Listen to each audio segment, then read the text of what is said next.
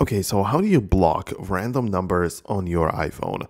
Uh, now, it depends on whether you want to block the texts or incoming phone calls, but in both cases, uh, there are some things and tools that you take, can take advantage of, right?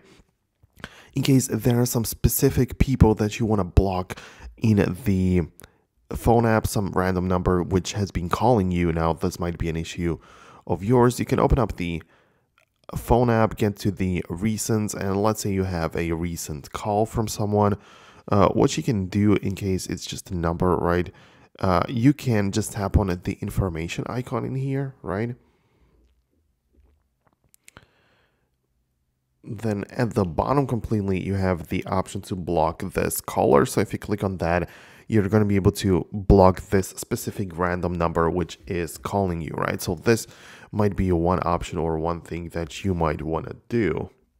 Besides that, for some more general approach, what you can do is to open up the settings and then again uh, navigate over to the phone uh, section. So tap on apps at the bottom, scroll through the list to find the phone, tap on this, and you're going to have an option to block or silence unknown callers, which is technically the random numbers calling you, which you may not know, right? So when this option is enabled, calls from unknown numbers will be silenced and sent to voicemail.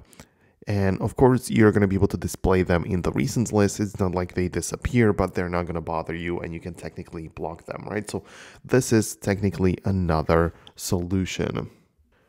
Also, when it comes to text messages, what you can do is again come back to the messages and within this section, make sure to find the blocked contacts. And you can see I have some random numbers which have been texting me.